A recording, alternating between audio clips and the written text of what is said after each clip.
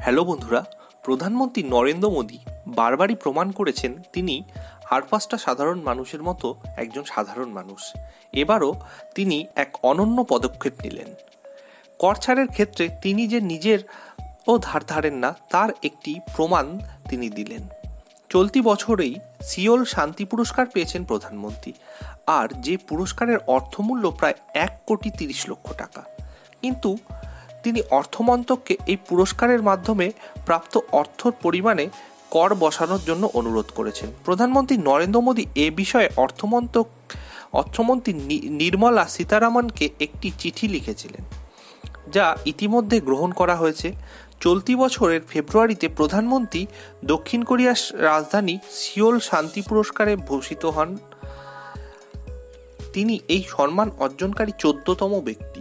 এই পুরস্কারের মধ্যে দিয়ে এক দশমিক তিন কোটি টাকা অর্থ পেয়েছেন নরেন্দ্র মোদী। ছয়ই March central bureau of direct tax বিভাগ, আইটি আইনের ধারা দশ সেভেন্টিন এ এর অধীনে প্রধানমন্ত্রীর এই প্রাপ্ত পুরস্কারের অর্থমূল্যতেও কর ছাড়ের সিদ্ধান্ত নেন।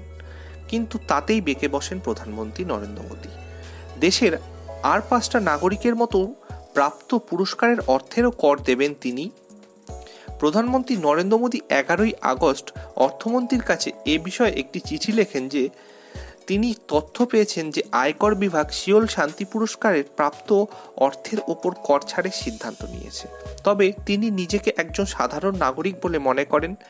মন থেকে এই কর ছাড় মেনেও নিতে পারছেন না তিনি। ঠিক এ ব্যাপারে চোদ্দই আগস্ট এই কর ছাড় প্রত্যাহার করা হয়।